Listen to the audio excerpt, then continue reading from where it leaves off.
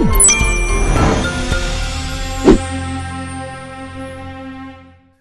what's up guys, Zanes again from iGeeksBlog and today I will share a few tips to improve battery life of your iPhone or iPad.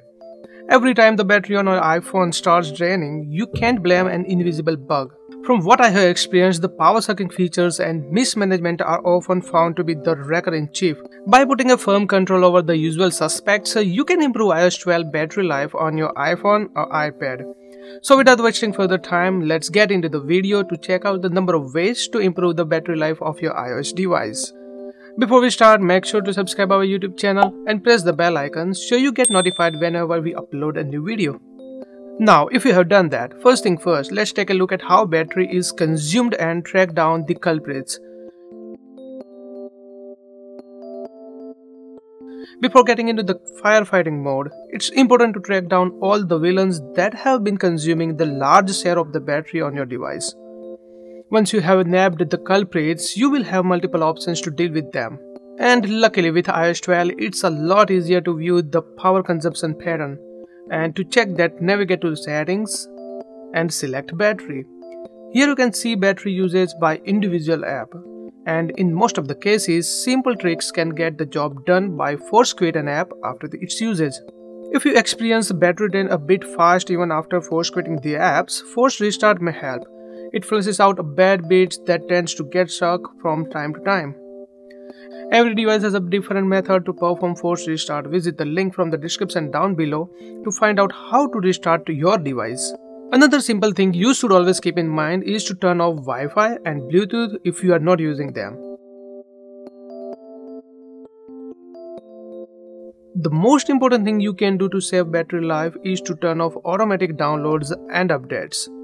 Whenever you download an app on your iPhone, it's automatically downloaded on your other iOS devices synced with the same iCloud account. Well, it's a helpful feature, right? But it can eat into some extra battery on your device. So I personally prefer to turn it off.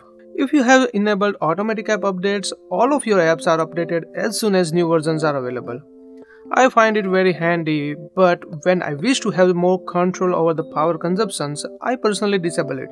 To disable these options, launch settings, scroll down and select iTunes and App Stores and under the automatic download sections turn off the switch next to music, apps, books and audiobooks and updates.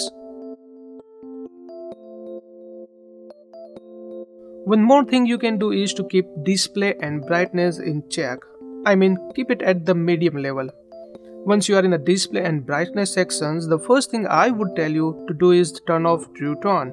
Basically it adapts the device display as per the ambient lighting conditions and as a result colors appears to be consistent in different conditions. The only problem with this feature is that it doesn't work at all the time consistently. In this case, it's better to adjust the brightness manually. Auto lock can also help battery life a bit. I would suggest to keep it as short as possible because the longer the screen remains awake, the more battery is consumed. You can also turn off raise to wake. Every time you pick your device, you may not necessarily want to wake the screen, right? so therefore it's advisable to disable it.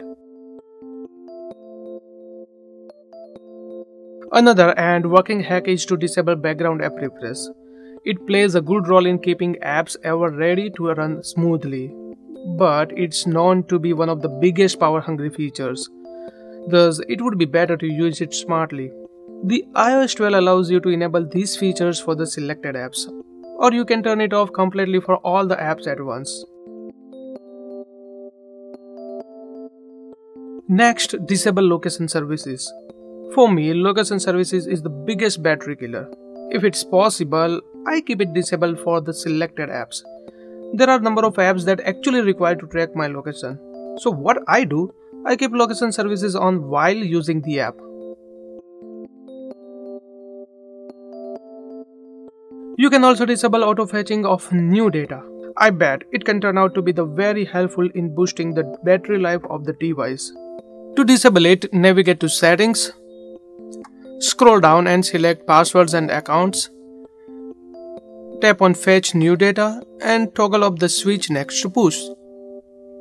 If you wish to disable background app refresh, location services and auto fetching new data at once, then take the help of a handy features low power mode. Apple has introduced a low power mode since iOS 9. Enabling these features will turn off number of power sucking features I mentioned earlier along with automatic downloads and listen to Hey Siri.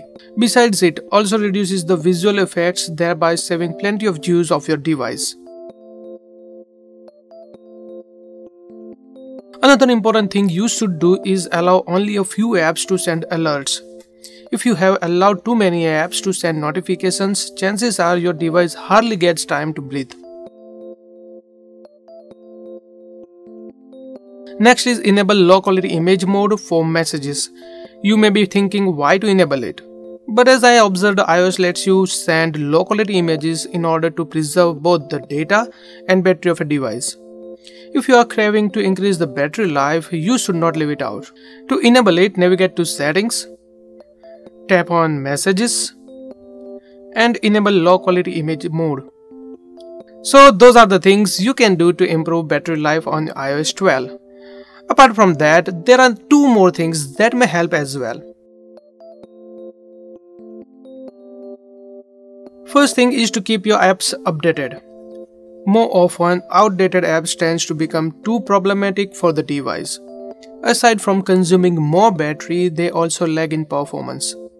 Therefore, updating them to the latest version can bring some respite to the battery. Second thing is to keep your device updated to the latest iOS version.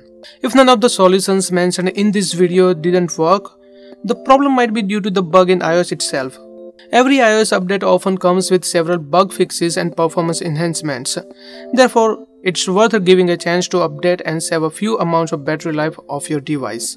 So that's it. These are the best possible solutions to fix the battery drain issue on your iOS device and your iPhone lasts longer between charges now.